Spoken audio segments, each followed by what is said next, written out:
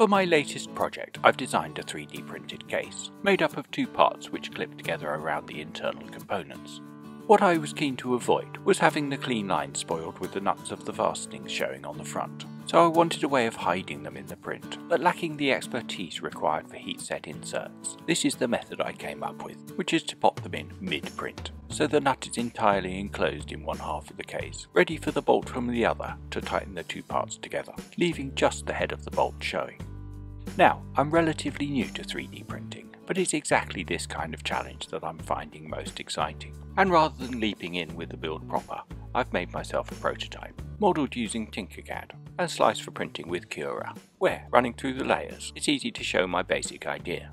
On top of the base with a hole for the end of the bolt, I've got a hexagonal void, very slightly bigger than the size of my nut, the top of which is marked by a step in the side. This is the point I know my print head has cleared the nut, so time to pause the print, pop it in, before resuming with the printer trapping it under subsequent layers. All well and good in theory, let's try it in practice. The key to this is knowing when to pause. My base layers are 4mm thick, then comes the bit for the nut, which adds a further 2. This is very slightly more than the height of the nut itself, so I know when the Z measurement goes above 6 on the display, I can hit the pause button, ready for insertion. With my Ender 3 Neo, this sends the print head off to the left and the bed to the back of the printer, which isn't ideal as we have to reach over everything to get the nut in, while making sure not to lean on any of the moving parts, making it that little bit more fiddly than it needs to be.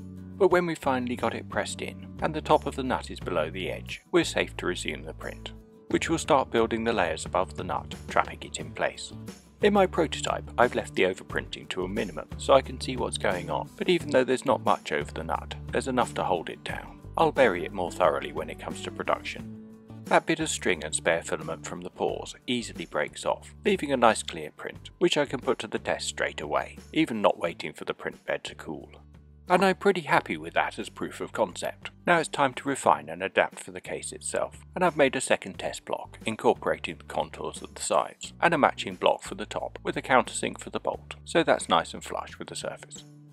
Once again you can see the hexagonal hole, a little bit deeper than the height of the nut, shown by the step on either side. This is when we need to drop in the nut, before subsequent layers print across the hole. This is easier to show in the slicer, Going through the layers, we've got the round hole for the end of the bolt, the hexagon for the nut, and two more layers above its thickness, which is our window of opportunity for insertion, before the print head comes over again, trapping it in place with subsequent layers. Just note these aren't printed on the nut, but over it, which is why I've gone for straight sides rather than a round hole. And here are our captive nut assemblies in the case. You can just about make out the hexagonal void, under what's evolved into more of a slot than a straightforward hole and after grouping everything together and exporting as an STL, we're ready to slice. But before I do, there's one thing I want to do in Cura first, which is to rotate my design. The reason is that sideways on I get a better access for dropping in my nuts. I may even be able to do it on the fly without pausing at all. Then once again changing my infill settings to 100%, I can hit the slice button. And when I remember to put in my SD card, save the G-code to that, which when safely ejected can be popped in the printer. Embedding the nuts is very much a small part of a bigger project, and it's from the video for that that these sections are taken, so if you want to see the full context with Raspberry Pi Pico and display screen, just click on the link above. Meanwhile, let's get back to the nuts, and unlike the prototype, this time I'm going to try this without pausing, so I need to keep an eagle eye out for when the z-axis hits 6mm. This is layer 30, which is when the print head has cleared the top of the hole for the nut. On my smaller experimental prints, this is where I pressed pause, fitted the nut and then resumed. But with my larger and slower print, I've got just about enough time to do this without pausing, and when the print head is busy on the other side, I can deftly, or not so deftly, prop in the nut before it comes round again. It's actually not as dramatic as it appears here, and with two layers leeway I've got plenty of time to line up the next one, pop it in and press it flat, so the print head doesn't hit it when it goes over.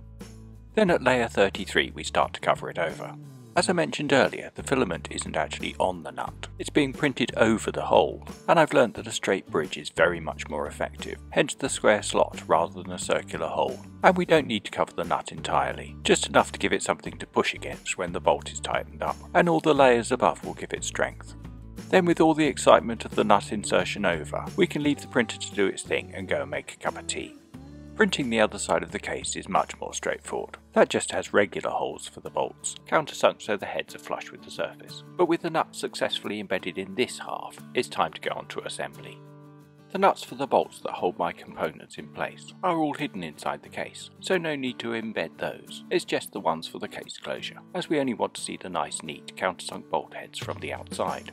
And here you can see those nuts, which, unlike heat-set inserts, have a bit of movement, which makes them much more forgiving when it comes to lining up the bolts. A wonky insert can spoil an entire print, but my bolts have no such trouble, with their ends easily engaging in the thread on the nuts, tightening with the Allen key, pulling them against the overprinted layers, until the two halves of my case are securely clamped together. Neat and tidy bolt heads on this side.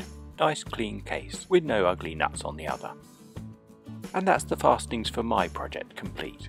If you want to try it for yours, you'll obviously have to come up with your own CAD, and getting the hex holes right does require a little patience, and nut insertion a bit of practice.